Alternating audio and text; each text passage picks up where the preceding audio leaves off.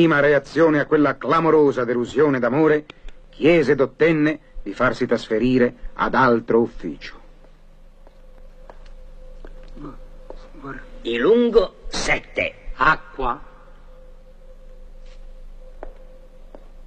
Ragioniere, C. Fantozzi. 14. Catania 14. Acqua. Il destino volle che lo mettessero nella stanza di un certo Folagra, la pecora nera, anzi, la pecora rossa della ditta. Questi era un giovane intellettuale di estrema sinistra, che tutti, Fantozzi compreso, avevano sempre schivato per paura di essere compromessi agli occhi dei feroci padroni.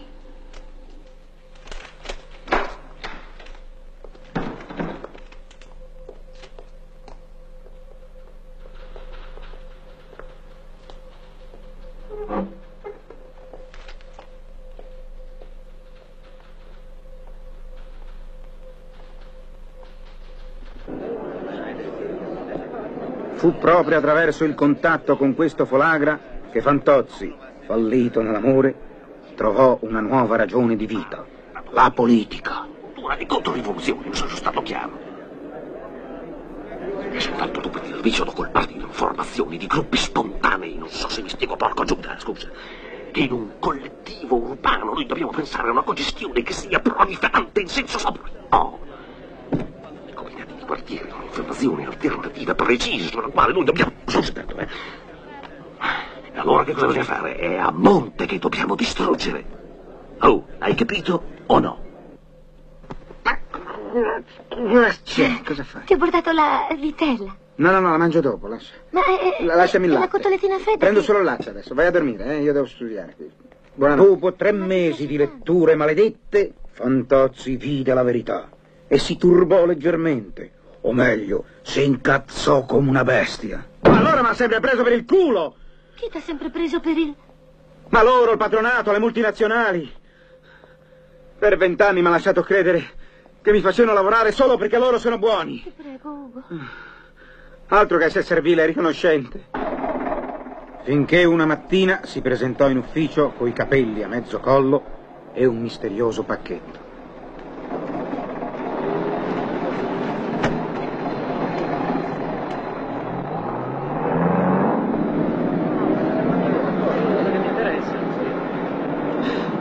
Vigliacchi! Ce l'avete tutti con me, ce l'avete! Ma che cosa avevo fatto io? Vent'anni della mia vita! Ora vi faccio vedere io, vi faccio!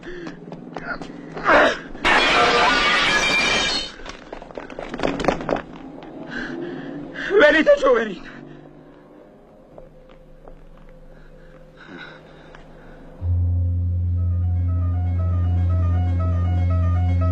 È stato lei, vero Fantozzi?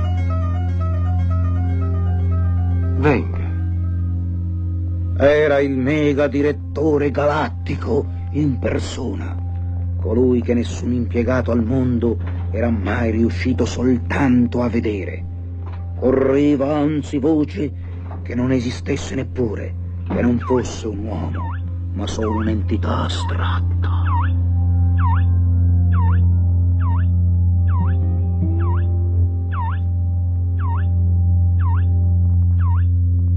Verso il diciannovesimo piano ebbe una mostruosa allucinazione punitiva.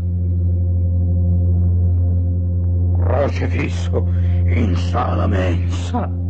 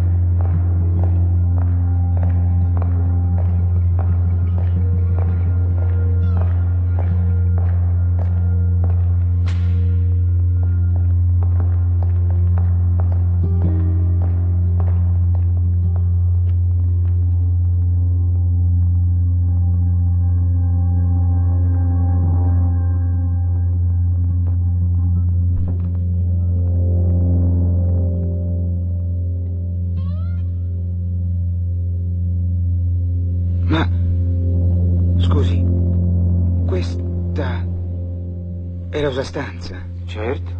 Vabbè, ma le cento piante di ficus e le poltrone di pelle umana e il grande acquario nel quale nuotano dei dipendenti sorteggiati. Voci, caro Fantozzi, messe in giro dalla propaganda sovversiva. Prego, si accomodi.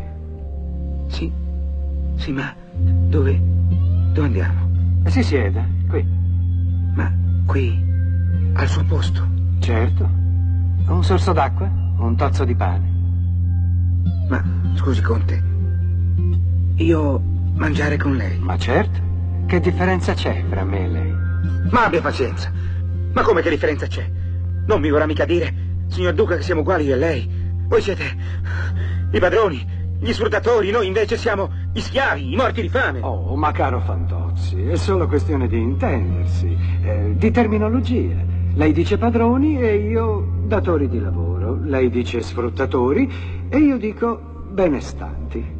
Lei dice morti di fame e io classe meno abbiente. Ma per il resto la penso esattamente come lei. Come?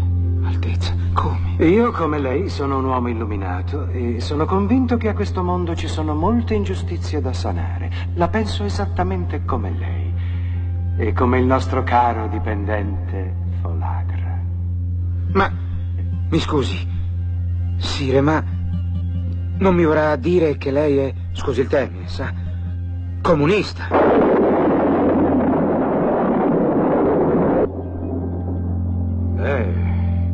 Proprio comunista? No. Vede, io sono un medio progressista. Ah. Ma in merito a tutte queste rivendicazioni e a tutte le ingiustizie che ci sono, lei che cosa consiglierebbe di fare, maestà? Ecco, bisognerebbe che per ogni problema nuovo tutti gli uomini di buona volontà, come me e come lei, caro Fantozzi, cominciassero... La prego, si accomodi. Cominciassero a incontrarsi senza violenze in una serie di civili e democratiche riunioni, fino a che non saremo tutti d'accordo. Ma, mi scusi, Santità, ma in questo modo ci vorranno almeno mille anni. Posso aspettare. Io. Grazie. Così allora le mancherebbe solo la poltrona di pelle umana. C'è!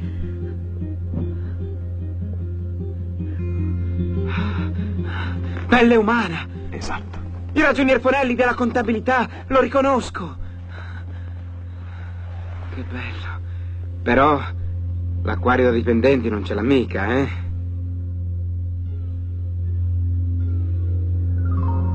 Esiste! L'acquario!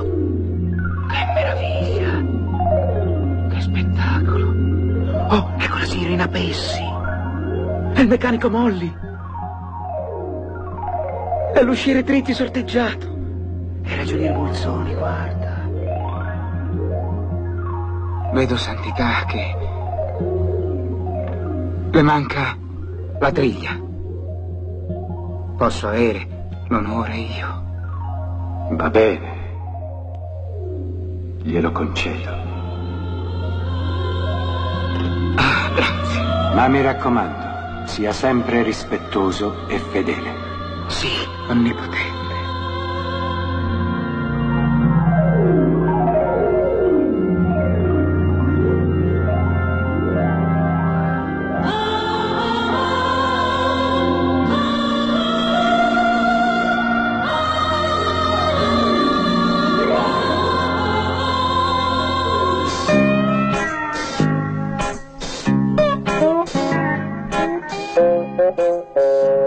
Ragionier Ugo.